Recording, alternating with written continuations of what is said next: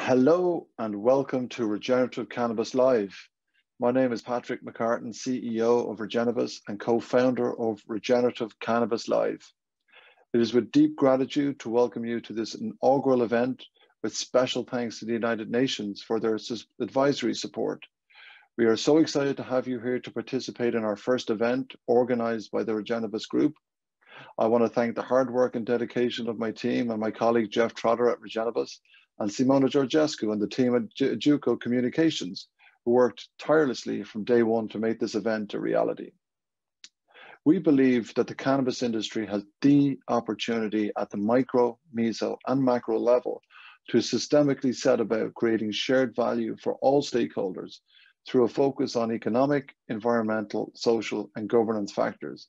And by addressing these opportunities in parallel, cannabis corporations can be a significant driver to deliver solutions to many of humanity's greatest challenges and deliver regenerative growth for all. The cannabis and hemp industry is uniquely positioned to be a game changer. In order to realize its full potential, we must educate, normalize, legalize, and regulate cannabis and hemp globally, because we know that this will drive sustainable development and transform countries' economic, social, environmental impact, and in turn, contribute to the 17 UN Sustainable Development Goals, also known as the SDGs. We believe that there is a need to create a disruptive and innovative community driven by exponential actions in alignment with the SDGs. The mainstreaming of cannabis involving global corporations has already begun with brands such as Heineken, Levi's, Patagonia, Nestle, 3M, Molson Coors, and PepsiCo using hemp materials, CBD, to build new cannabis-based brands.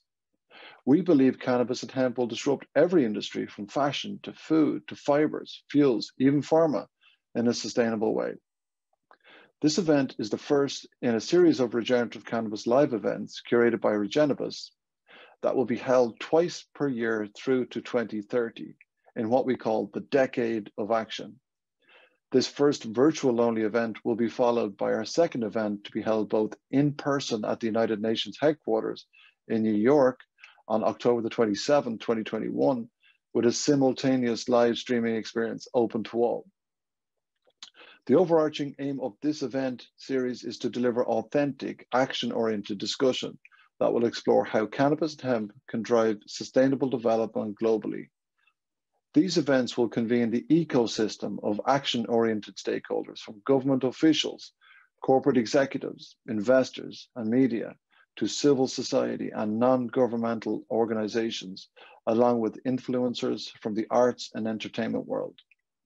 Together, we will explore the economic, social, and environmental impacts that legally regulated and normalized cannabis and hemp industry could create over the next two days, the six panels will focus on the key topics within three core areas. One, economic, two, social, and three, env environmental. The economics panel will explore how ESG, environmental social governance, and a fully regulated and legalized cannabis industry will spur economic growth.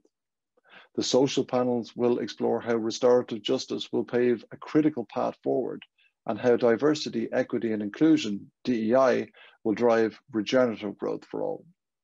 The environmental panels will discuss how sustainable packaging and regenerative agriculture, driven by the creation uh, uh, of an industrial hemp industry, will have a game-changing impact on our global environment. We hope this event inspires ideas and discussion around how to build a better world through cannabis and hemp. And now I would like to extend a warm welcome to our guest of honor, presidential candidate for 2022, Senator Juan Galan of Colombia, who will now share his vision for a sustainable future in Colombia and Latin America with cannabis and hemp.